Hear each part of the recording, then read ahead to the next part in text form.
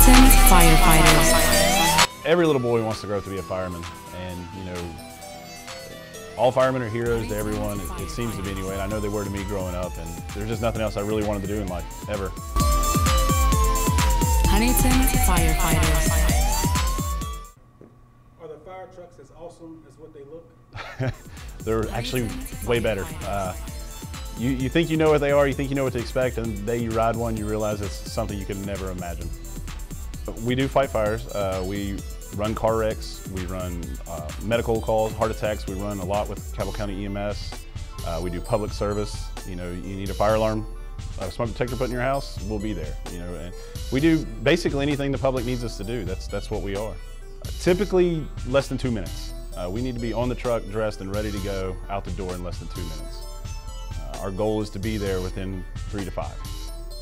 Uh, I actually, uh, a fire uh, woman. I have the first uh, female captain in the state of South Carolina is my aunt. And when I was a kid and lived in South Carolina with her, this is kind of where my infatuation with the fire department came from. I'd be a liar if I said no. Uh, every, every, every time you get a structure fire call, you know, you can only imagine it in your head until you get there. So you never know what you're going to be dealing with until you're there. When you successfully put out a fire and save lives, is there a celebration at the station?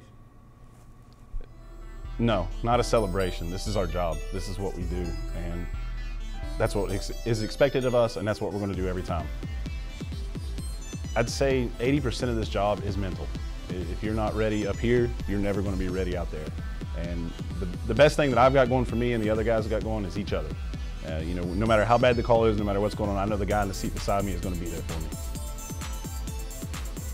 Uh, one suggestion to Mayor Williams would be uh, come down and spend a day with us. Ride the truck with us. See, see this from our side. See what we go through every day and see what we see and just see what it's like to be a, a you know in the seat, in the truck. Wear that pack. Go into a house. Just see the environments that we're in.